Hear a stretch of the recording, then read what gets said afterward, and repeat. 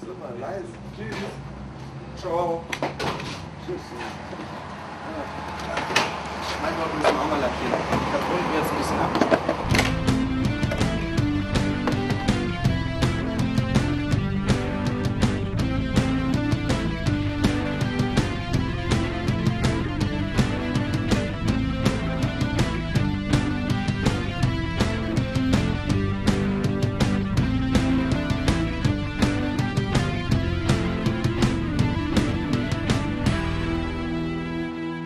Mein Name ist Daniel, ich bin 16 Jahre alt und was ich gern mache ist Skateboarden.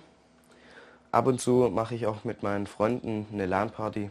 Also wir stellen alle unsere PCs zusammen, machen ein Netzwerk. Ich lese auch gern. Hauptsächlich Science Fiction und Fantasy. Ich wohne in einem kleinen Dorf in der Nähe von Rottenburg. Zusammen mit meiner Oma, meinem Stiefvater, meiner Mutter und meiner kleinen Schwester. Ich möchte zur Polizei. Das ist einfach für mich der absolute Traumjob, denn da habe ich eine sichere Arbeitsstelle und außerdem ähm, gibt es immer mehr Fortbildungsmöglichkeiten und es wird niemals langweilig. Ich höre ausschließlich Metal. Metal und Rock, das hat Tradition und ich finde, es sollte auch noch lange ähm, erhalten bleiben.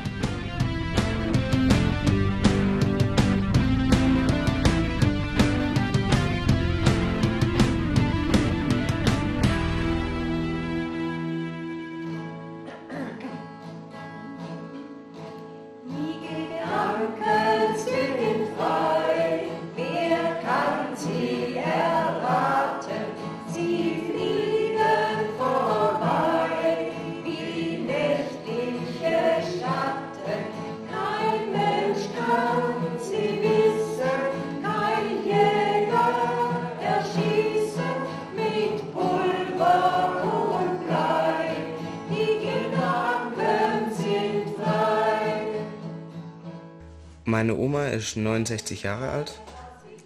Sie ähm, war früher ausschließlich Hausfrau, hat aber auch als Putzhilfe in Finder geschafft.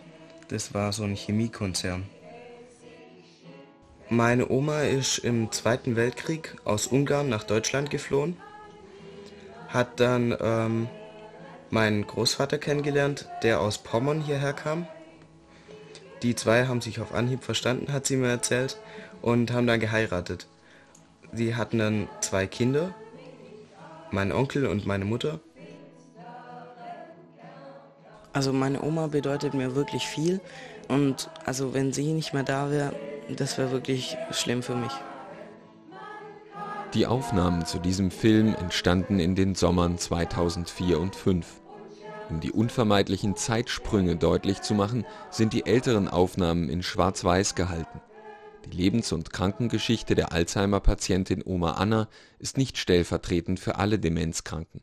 Gezeigt wird nur ein Abschnitt im gesamten Krankheitsverlauf. Meine Oma ist 69 Jahre alt. Sie lebt mit mir in einem Haus und ähm, sie hat Alzheimer. Guten Morgen.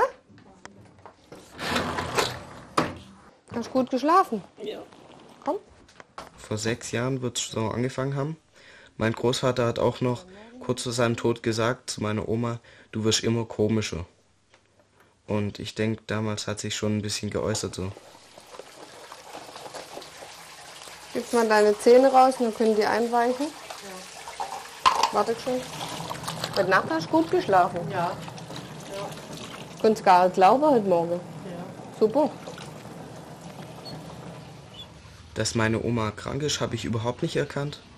Meine Mutter ist eines Tages zu mir hergekommen und hat mir gesagt, ja, deine Oma hat Alzheimer. Ich meine, wir haben alle vorher schon gemerkt, die ist ein bisschen komisch, wird in letzter Zeit vergesslicher. Schau mal ein bisschen mehr nach hinten, sonst geht's in die Augen. Ja, dass einfach irgendwas nicht Ja, stimmt, aber gut. dass es jetzt Alzheimer ist, da bin ich überhaupt nicht drauf gekommen. Und Die Krankheit äußert sich dadurch, dass man einfach im Anfangsstadium vergesslicher wird und dann verliert man langsam so seine Fähigkeiten, also alltägliche Dinge. Es fängt damit an, dass man die Kaffeemaschine nicht mehr bedienen kann. Dann weitet sich aus, dass man Sachen verlegt und auch nicht mehr wiederfindet. Man kann das Telefon nicht mehr bedienen. Und schließlich kommen so alltägliche Dinge wie beispielsweise Zähneputzen. anziehen, die Haare kämmen, das funktioniert einfach alles nicht mehr.